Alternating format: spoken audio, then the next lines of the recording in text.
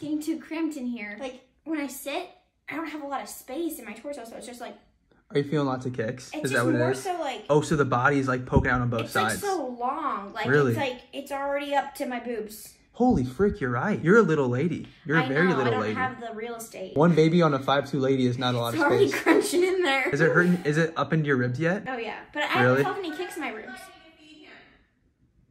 Wait, what?